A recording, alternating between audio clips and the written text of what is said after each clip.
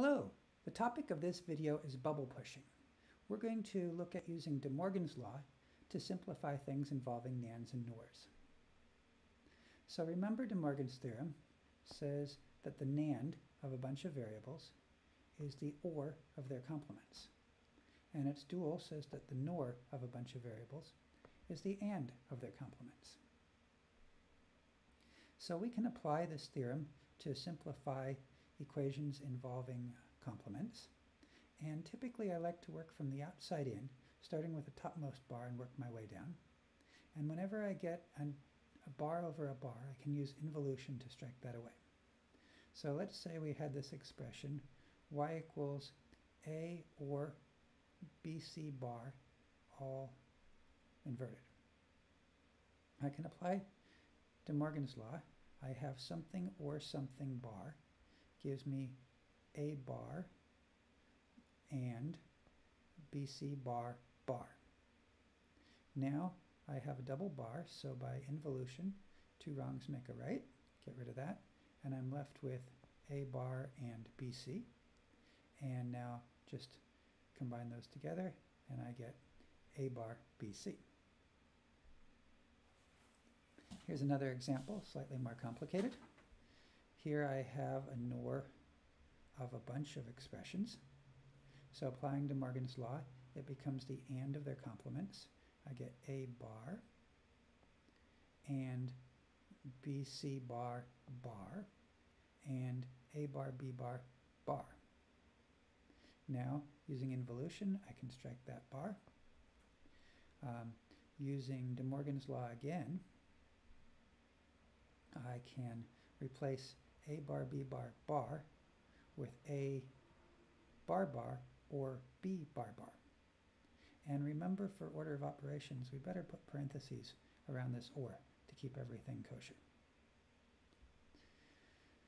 Now I can strike those double bars by involution and I'm left with A bar BC and A or B. Now I could apply the distributive property and um, bring out the A, bring out the B. A bar and A um, is just 0, so this term goes away.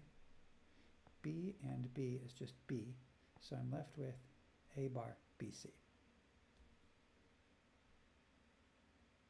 And again, remember that when we apply De Morgan's law to A NAND B, we need to write it as A bar or B bar and keep parentheses around it uh, to follow our order of operations.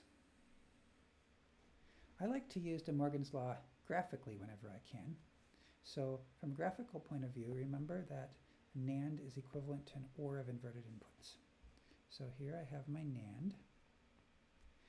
I push the bubble through and the bubble pops out on the inputs and the gate changes from an AND to an OR flavor. So A NAND to B is equivalent to not A or not B. You notice I'm just going to draw my bubbles on the gates. I got fancy enough at this point we don't need to draw inverters everywhere.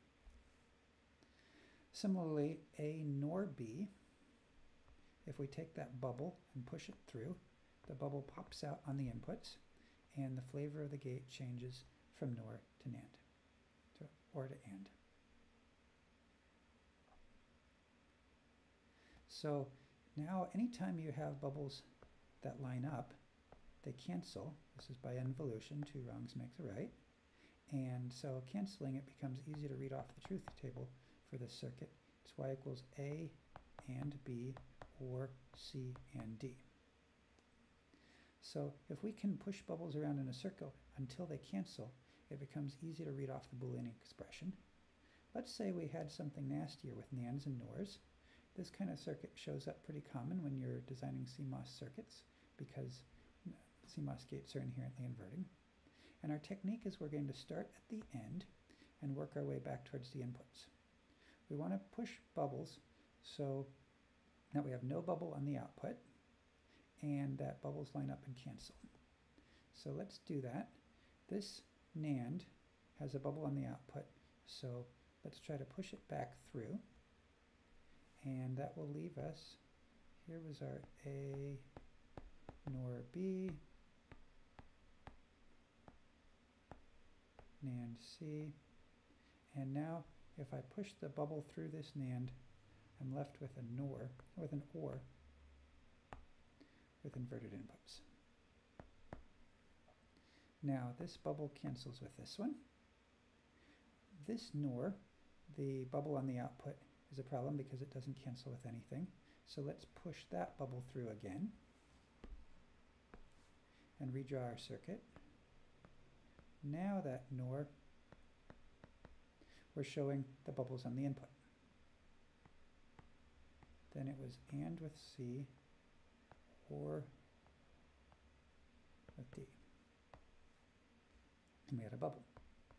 So now we can just read this off. y equals A bar and B bar and C or D bar. So bubble pushing let us easily determine the logic function of a circuit.